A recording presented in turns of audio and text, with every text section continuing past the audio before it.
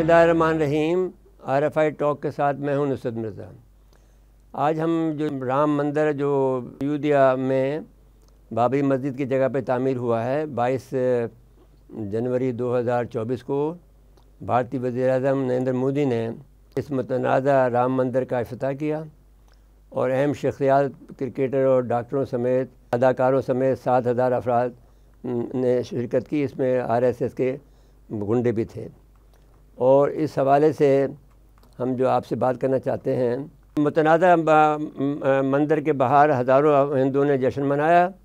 हज़ारों की तादाद में जो लोग थे, उन्होंने नारे लगाते रहे, झंडे लहराते रहे और ढोल बजाते रहे। मुतासिब आर एस एस के गुंडों से अयोध्या के शुमाली कस्बे के सड़कें भर गईं।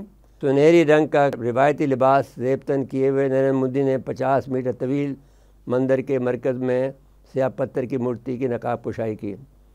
अब ये बात जो है, इस बात का तकाजा करती है कि यहाँ से फिर किसी बाबर को, किसी खिलजी को, किसी शाहबुद्दीन गौरी को दावत दे रही है कि यहाँ पर आकर मुसलमानों की मदद करे। राम मंदिर के अफ्ताह के मौके पर क्रिकेटर, सनतकारों और अदाकारों ने भी शिरकत की और मजहबी रहनुमा भी ख़ानदानों समय शरीक हुए। दुनिया भर के पचास बैरून ममालिक से नुमाइंदे भी इस तकरीब का हिस्सा थे। नुमाइंदे इस तकरीब का में जो आए उनमें से, जो राम मंदिर की तामीर के लिए मोदी ने सरकारी देखा कि सरकार दिल खोल कर फ़ंड फराम किए और रकम मंदिर की तामीर पर जो राम मंदिर की तामीर पर जो रकम तक खर्च हुई है वो अट्ठारह सौ करोड़ रुपए थी। तामीर की ज़िम्मेदारी राम जन्मभूमि से तीरथ की ट्रस्ट को सौंपी गई। जिसे जे पी की हुकूमत ने फरवरी 2020 में बनाया था।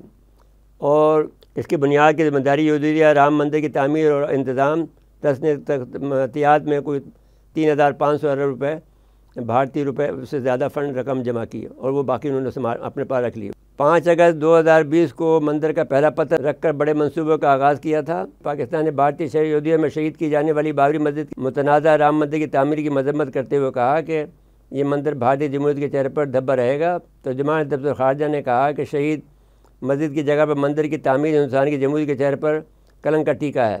तो जमान दफ्तर खारजा पाकिस्तान ने शहीद बाबरी मस्जिद की जगह पर राम मंदिर की तमीर की मजम्मत करते हुए कहा कि सदियों पुरानी मस्जिद को छः दिसंबर उन्नीस सौ बानवे को इंतहा पसंदों के एक हजूम ने शहीद कर दिया था।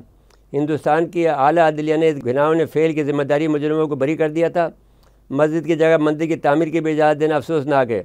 भारतीय शहरी काशी में ज्ञानोपी मस्जिद और मिथरा की शाही ईदगाह मस्जिद समेत दीगर मसाजिद की बेरमती की जा रही है। इन मसाजिद को भी ख़तरे का सामना है।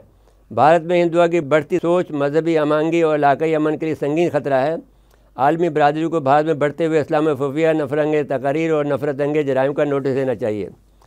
अब अगर हम इसको देखते हैं, अमेरिका जो आलमी मीडिया ने इस पर क्या तबसरा किया हम आपकी खदमत ये पेश करना चाहते हैं। कि अमरीकी जरीदा टाइम ने कहा है कि मोदी का भारत सेकुलर रियासत होने का मुकाम खो बैठा है। अमरीका मीडिया इंतबात तैयारी, भारत में मोदी सरकार के हिंदू परस्त मुतसबाना दामाद जारी हैं और मोदी सरकार भारत को सेकुलर रियासत ज़ाहिर करने में नाकाम हो गई है। अमेरिका मीडिया के मुताबिक मोदी की इकदाम में आने के बाद भारत सेकुलर रियासत होने का मुकाम खो बैठा है और ब्लूमबर्ग के मुताबिक मोदी सरकार ने भारत में बढ़ती हुई कौम परस्ती का भरपूर फ़ायदा उठाया। जिसकी वाजह मिसाल राम मंदिर की तामीर है। रिपोर्ट में कहा गया कि राम मंदिर की तामीर और कश्मीर की खसूसी हैसियत को ख़त्म करने पर 2019 के इंतबात में मोदी की कामयाबी हासिल हुई थी। जबकि अमरीकी टीवी के मुताबिक राम मंदिर के अफ्ताह के मौके पर अयोध्या के मुसलमानों गम और गुस्से और इसतराब की कैफियत में हैं। इस मंदिर से हिंदुस्तान को तकसीम होने का ख़तरा लाख हो गया। 2014 से अब तक मोदी इकदार के लिए हिंदुत्व का हथकंडा इस्तेमाल कर रहे हैं। 2024 के इंतखब में कामयाबी हासिल करने के लिए मोदी हुकूमत के एजेंडे में मुतनाज़ा मंदिर की तमीर शामिल है। राम मंदिर की तमीर के वादे पर मोदी अपनी सियासत चमकाते रहे हैं और ब्लूमबर्ग ने कहा है कि मोदी भारत में दस साल से जारी करप्शन, माशी बहरान और बेरोज़गारी को महँगाई को ख़त्म करने में नाकाम रहे हैं। मोदी ने 2024 के इंतखब में कामयाबी के लिए भारत में हिंदुत्व का निज़ाम राइज करने मकामी मंदिरों की तमीर और मुसलमानों पर ज़मीन मज़ीद तंग करने का वादा किया है। अमरीकी जरीद टाइम ने भारतीय मुसलमानों की बेबसी का को बयान करते हुए लिखा कि मोदी सरकार में मुसलमानों के लिए बात करने वाला कोई नहीं है। उन्नीस सौ सैंतालीस की आज़ादी के बाद पहली बार हुक्मरान जमात में जो काबीना है। हिंदुस्तान की अट्ठाईस रियासतों में से किसी एक में भी कोई मुसलमान वजी अला नहीं है। और उत्तर प्रदेश, जहाँ अयोध्या वाक़ है, सफ़ेद रंग का लिबास पहने हुए एक हिंदू साधु की हुक्मरानी है, जो अपने social media so, media handle से मुसलमानों को ईद मारे का पैगाम भी नहीं देता। अमरीकी खबर रसा इदारे ने एसोसिएशन, इदारे एसोसिएट प्रेस ने राम मंदिर के पीछे सियासत की निशानदेही की कि मौसम बहार में होने वाले कौमी इंतखब से कबल हिंदुस्तान के सबसे ज़्यादा मुतनाज़ मजहबी मकाम में से एक मोदी को बड़ी अवामी हमायत हासिल हो जाएगी। बरतारी अखबार गार्जियन ने मोदी के इंतबी मुहिम का गैर सरकारी आगाज़ करार दिया है। बीजेपी का इंतबी एजेंडा हिंदुओं के मजहबी जज्बात पर काबू पाना है और उनको भड़काना है। मुतद हिंदू पुजारियों और बड़े मज़ारात के सरबराहान ने भी उस मुतसवर तकरीब में शिरकत से इनकार किया है। मोदी की नाकामी की दलील है। कतर के टी वी ने भी मोदी सरकार के हिंदुत्व के नज़रिए को खूब से नकाब करते हुए कहा कि तकरीब को सियासी तौर पर इस्तेमाल किया गया।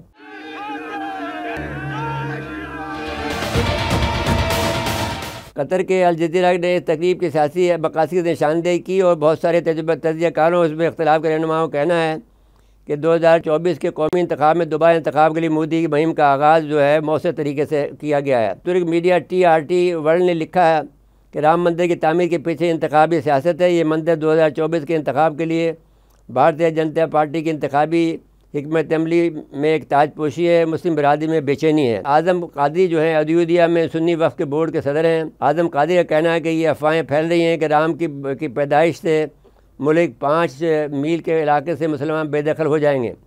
हुकूमत मंदिर से मुतल तमाम मुस्लिम अमलाक हासिल कर रही है। एक ऐसा माहौल पैदा किया जा रहा है जहाँ मुसलमान गैर महफूज महसूस करते हैं और फ़रार होने पर मजबूर हैं। अमरीकी मीडिया की खबर ऐसा जाना एसोसिएट ने एक दफ़ा फिर कहा है कि राम मंदिर के पीछे सियासत की निशानदेही की है और कहा है कि मौसम बहार में होने वाली कौमी इंतखब से कबल हिंदुस्तान के सबसे ज़्यादा मुतनाज़ मजहबी मकाम से एक का अफ्ताह से उसे तो की जा रही है कि मोदी को बड़ी हिमायत फराहमी हो जाएगी। हिंदुस्तानी मीडिया ने बाबरी मस्जिद के गैर कानूनी को मुकम्मल तौर पर नज़रअंदाज किया। पीजीपी का एजेंडा हिंदुओं के मजहबी जज्बात पर काबू पाना है।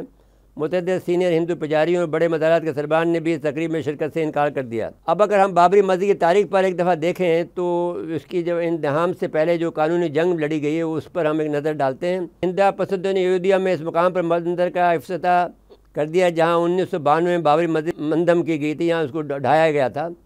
इस मस्जिद की तारीख शहादत कानूनी जंग पर एक नज़र डालते हैं।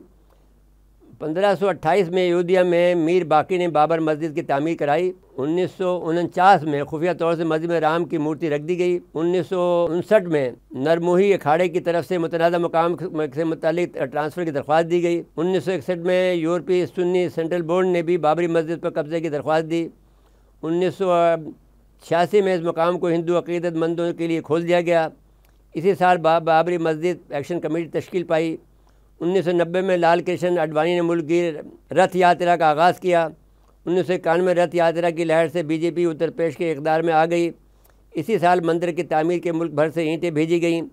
छः दिसंबर उन्नीस सौ बानवे में अयोध्या पहुँच हज़ारों हिंदू पसंद ने बाबरी मस्जिद को शहीद कर दिया। फिर कवाल फसाद फूट पड़े, दो हज़ार से जायद लोग जहाँ बाक हुए। एक आर्जी तौर पर मंदिर बना दिया गया। सबक वजी अजम नसर राव ने मस्जिद के असर तमीर का वादा किया।